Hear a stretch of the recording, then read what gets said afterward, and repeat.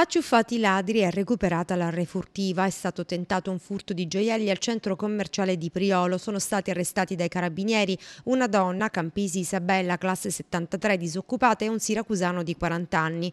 I due si sono introdotti all'interno di una gioielleria del centro commerciale della zona priolese, trafugando dal bancone, celandolo all'interno della borsa della donna, un bracciale di valore di 800 euro. I carabinieri hanno tratto in arresto la coppia, mentre la refurtiva, interamente recuperata, è stata restituita riferita all'avente diritto. A Cassibile invece i carabinieri hanno sequestrato una casa vacanza in costruzione e hanno denunciato una donna siracusana, legale rappresentante di una società immobiliare del capoluogo, ritenuta responsabile di aver realizzato opere edilizie abusive. La villetta in zona Renella è stata realizzata con lavori di ampliamenti della volumetria attraverso la chiusura di verande e balconi senza necessarie autorizzazioni. La villetta è stata sottoposta a sequestro a disposizione dell'autorità giudiziaria. Conclusosi ieri il ciclo di programmazione del Comune di Siracusa con l'approvazione del bilancio del documento unico di programmazione 2020-2022. Il 10 gennaio la Giunta aveva adottato lo schema di bilancio che è stato approvato il 18 febbraio dal commissario straordinario e il termine di scadenza per l'approvazione sarebbe scaduto il 30 marzo. L'approvazione in anticipo rispetto al termine di legge del bilancio dei documenti di programmazione, dice l'assessore Pietro Coppa, è una novità assoluta per il Comune di Siracusa. Iniziamo a raccogliere frutti di un lavoro avviato sin dall'inizio di questo mandato. Già lo scorso anno la Giunta aveva adottato lo schema di bilancio del 2019 nel mese di aprile, poi approvato dal Consiglio Comunale il 30 agosto. Nei prossimi 20 giorni la Giunta dovrà approvare il piano esecutivo di gestione, il PEG, che è lo strumento di attuazione del bilancio 2020 e che consentirà all'apparato amministrativo di realizzare gli obiettivi fissati per il 2020. Non appena la Giunta approverà il PEC, conclude l'assessore Coppa, l'amministrazione organizzerà un incontro pubblico per illustrarlo. Appello dei sindacati Fenella, Will, Filca, Cisle e Fillea CGL che continuano la battaglia per la legalità nel settore costruzioni, segnalati agli organi preposti sette cantieri irregolari che si aggiungono ai 46 segnalati nell'ultimo mese su Avole ed Augusta. Stavolta si punta il dito per il comune di Lentini e si chieda che sospenda le concessioni edilizie nei cantieri irregolari. Questa è l'ennesima forte richiesta avanzata al comune di Lentini stamattina da parte del sindacato degli edili. Siamo in presenza, dicono i sindacati, di irregolarità nei confronti dei lavoratori occupati presso le imprese segnalate, dai contributi contrattuali cassa edile per omessi incompleti versamenti alla presenza di lavoro nero, dichiarano i segretari. Si sospende la concessione fino a quando non avverrà la regolarizzazione. Carnevale particolarmente sentito in Sicilia nel nostro capoluogo, festeggiamenti che prenderanno il via oggi giovedì grasso e termineranno martedì prossimo.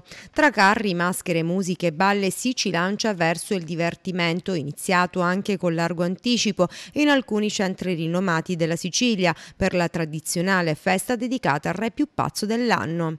Ad esempio le immagini parlano del grande spettacolo offerto già da Cireale. Palazzo Lacreide e Avola sono i comuni della provincia di Siracusa a garantire un più forte spettacolo carnevalesco. Nell'antico borgo dei Monti Iblei si inizia proprio oggi con una festa dedicata ai bimbi. Poi invece sabato 2 i gemelli diversi in festa alle ore 22, domenica il raduno dei carri che sfiliranno anche martedì. Discoteca sotto le stelle in piazza Pretura con DJ Fargetta per domenica 23, mentre domenica 25 Palazzo Lacreide offre la discoteca di Piazza del Popolo con FM Italian Tour. Avole invece destina la mattina ai più piccoli proprio del giovedì grasso, mentre di pomeriggio la sfilata alle ore 16 del Re Carnevale per tutta la città accompagnato dalla banda musicale. Domenica 23 le grandi sfilate dei carri allegorici, con particolare attenzione a quelli infiorati. La serata sarà conclusa da FM Italia, carri che sfileranno anche lunedì 24 e martedì 25, quando la conclusione sarà affidata allo spettacolo offerto da Anna Mena e il suo corpo di ballo e dalla madrina della serata Simona Ventura. Anche il Carnevale Melillese giunto alla 62esima edizione, propone un vasto parterre di ospiti.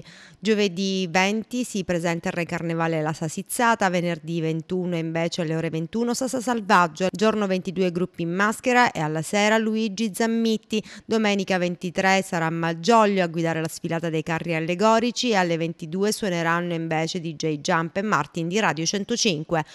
Giorno 24 sfilata dei gruppi in maschera, ora 23 DJ 7. Giorno 25 invece si chiuderà dopo la sfilata dei carri allegorici con Aida Jespica e il gruppo Il Pagante.